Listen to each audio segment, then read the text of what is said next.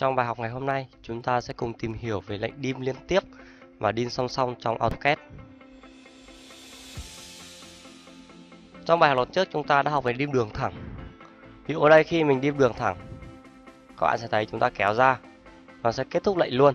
Và bây giờ các bạn muốn dim tiếp cái đoạn này, các bạn lại phải gõ Enter hoặc cách, kích vào đây, kích vào đây, kéo ra này. Nó rất là mất thời gian. Thì để tiến hành dim liên tục trong CAD, các bạn hãy có lệnh đầu tiên các bạn tiến hành đi một cái nhé đi DLI này. Dim trước một cái này nhé. Đấy. kéo ra. Sau đấy thoát lệnh các bạn gõ DCO tức là dim continue, enter. Đấy, các bạn thấy chưa? Chúng ta có thể kích hàng loạt này. Đấy. Đấy, rất là đơn giản. Khoang này, ví dụ như nhá. Bây giờ, mình có này DLI enter. Đây chẳng hạn. Đấy. Ở đấy mình lại DLI Enter Mình điểm đây chẳng hạn. Thì bây giờ mình muốn dim liên tiếp những cái khoảng này Nhưng mà từ cái đường dim này. Mà các bạn lại đã vẽ lại dim đây rồi Ví dụ đây nhá, mình DCO này. Enter. Thì các bạn sẽ thấy này Nó sẽ bắt luôn vào cái đường dim cuối cùng của chúng ta. Bây giờ các bạn muốn dim vào cái đường dim này thì làm sao? Thì các bạn hãy lõ S Enter Tức là Select Và các bạn kích vào đây cho mình. Đấy. Các bạn thể thấy này chúng ta có thể điêm tiết này kích chuẩn hơn mình gõ DCO này add enter này mình kích vào đây này. Đấy, mình bắt đầu tìm từ đây. Đấy, bạn thấy không? Đấy, thì đấy là cái công cụ select trong dim. Đấy.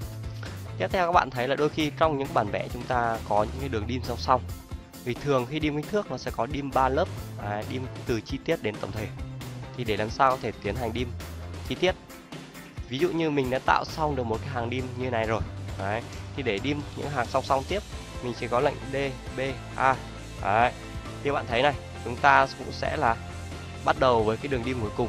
Đấy, ở đây chẳng hạn. Thì các bạn có thể gọi là S Enter. Và các bạn chọn cho mình cái điểm này.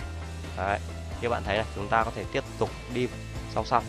Đấy ví dụ đi dim đến đây rồi nhá một cái nhá các bạn kéo ra thì bạn thấy chúng ta sẽ tạo ra những cái đường dim to hơn và song song nó nữa.